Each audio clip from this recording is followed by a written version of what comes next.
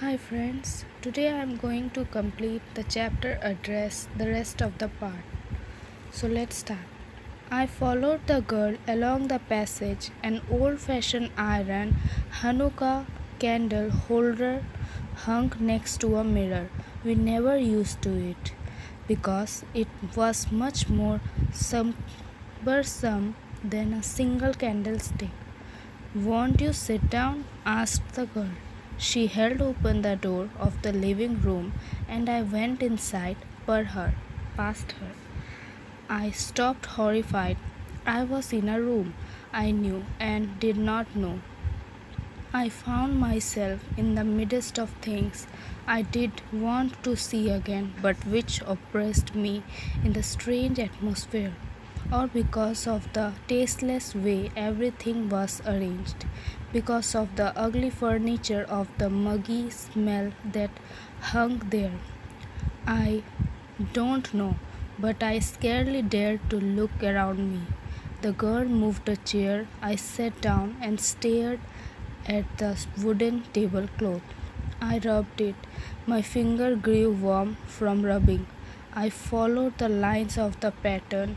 Somewhere on the edge there should be a burn mask that had never been repaired. My mother will be back soon, said the girl. I have already made tea for her. Will you have a cup? Thank you. I looked up.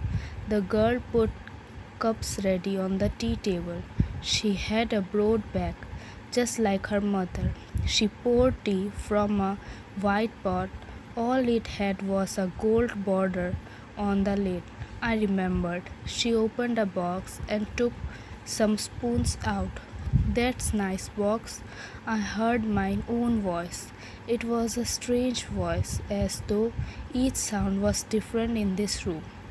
Oh, you knew about them. She had turned round and brought me my tea. She laughed. My mother says it is antique. We have got lots more. She pointed round the room. See for yourself. I had no need to follow her hand. I knew which things she meant.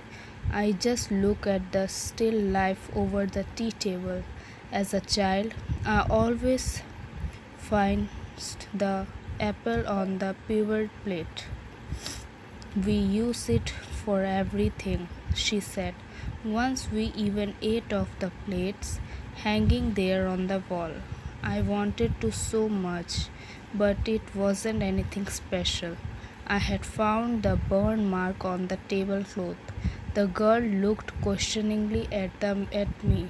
Yes, I said, you get so used to touching all these lovely things in the house.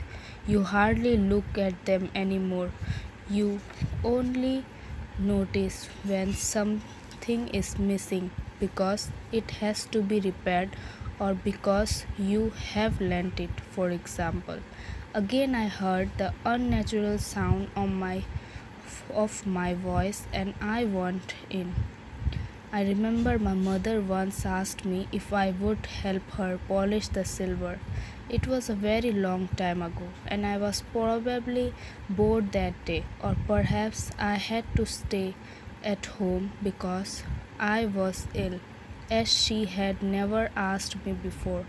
I asked her which silver she meant, and she replied, surprised, eh, that it is a spoon, forks, and knives, of course and that was a strange thing. I didn't know the cutlery we ate of every day was silver.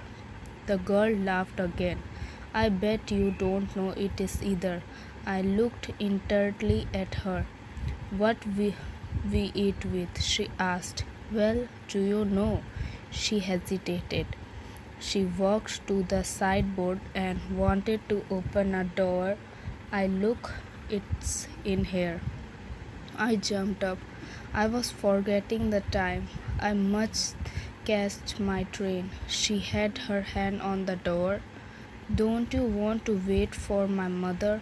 No, I must go. I walked to the door. The girl pulled the door open. I can find my own way. As I walked down the passage, I heard the jingling of spoons and forks. At the corners of the road, I looked up at the nameplate. Marconi Street, it said. I had been a number 46. The address was correct, but now I didn't want to remember it anymore.